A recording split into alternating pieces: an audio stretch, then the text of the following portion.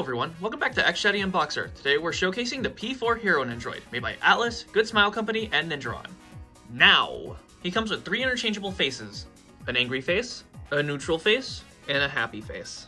He comes with two hairpieces, a normal, regular Yu Narukami hairpiece, and a hairpiece with truth-seeing glasses for Yu Narukami, as you can see, right here.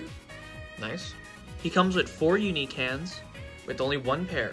He comes with a pair of bended arms, a swappable right leg with a bended knee, a summoning full tarot card, Yu's iconic katana when it's not a golf club, the typical Nendoron Nendoroid stand, a burning up persona sheet, and finally, a replaceable Good Smile Company neck piece in case yours breaks.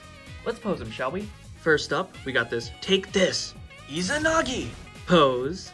Here we got our ready for the attack pose. Ugh. A there's the culprit, but it's actually just a Risette fan pose.